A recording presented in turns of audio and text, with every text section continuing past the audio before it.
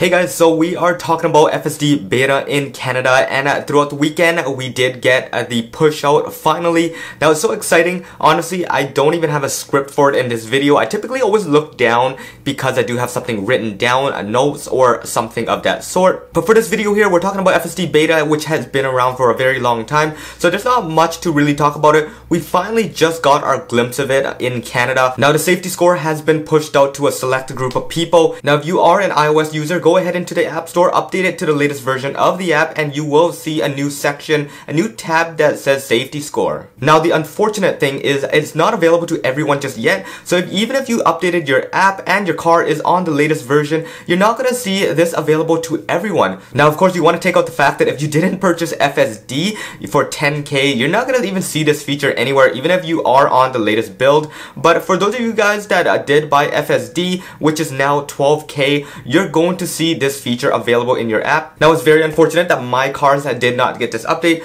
but if you guys launch up the app just like this, you're gonna see at the bottom there is a software update, and as you can see, mine does end in a 3. If yours ends in a 4, that means that you do have the FSD beta safety score pushed to your car, and you guys can go ahead and start working in getting that 100 perfect score. Alright, so if you guys aren't already aware, on the Tesla website, there is a safety score section showing you exactly how you get dinged off for for your points, if you do hard braking, if you follow, you tailgate, and a bunch of other reasons as well. If you don't get a safety score of roughly 100 or 99, you're probably not going to get it for a very long time. Uh, this is to keep the system uh, just in line with what Elon wants in terms of safety. They don't want a crazy person uh, just like myself to have FSD beta and uh, hit a tree and it'll be on TV and then they'll have to shut down the program altogether. So of course Elon does not want that so this is why it's going to be very limited uh, for for now.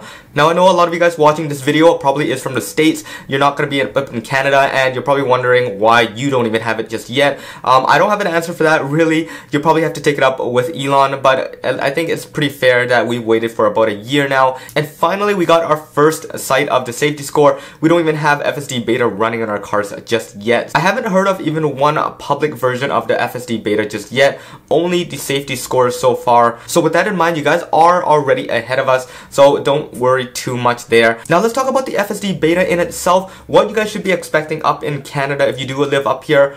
I am in the greater Vancouver area. I know it's available for Ontario and especially on the west coast which is where I am. Uh, this is where the majority of people driving Tesla are located. I honestly feel that my city has the most Tesla drivers in the world in terms of just population ratio. Now if you guys live in Vancouver, you probably know where Richmond is. I feel like 10 out of 10 cars are Teslas down there. So that gives you guys a perspective of how big it is uh, and how popular it is here. Um, so hopefully we get a chance to try out this FSD beta that we've seen down south. Alright, so all in all, I think it's going to be pretty much the same thing as down there in the States. Um, our roads are pretty much the same. Maybe they're a little bit smaller because we don't drive trucks too much up here. But generally, the rules are the same, at least from what I'm seeing. When I do drive down to Cali, I drive down to Texas, um, they look pretty much the same a lot of highways are there versus here but this is FSD beta in the city street, so that shouldn't really make a difference. From what I noticed, rules are pretty much the same. We do have a couple little things here and there that Elon says that may be a little bit different, but in terms of just overall layout and everything, it's pretty much the same. I can only think of one province and two cities within that province that drives a little bit weird, and that has to be Calgary and Edmonton. Their streetlights are horizontal instead of vertical like the rest of the world, and things are a little bit wonky here and there from what I see and from how I feel when I drive from here to there versus from driving here to Cali, it's a totally different world. So for those of you guys that live there, um, I'm sure you guys will experience some other weird things going on with FSD beta, it getting confused with the lights and uh, whatnot. But overall, I think if you guys do have FSD beta down from the south and you come up north, I think it's going to drive pretty well. So that should be what we are expecting here, especially with version 11 on the horizon. That's probably going to make it so much better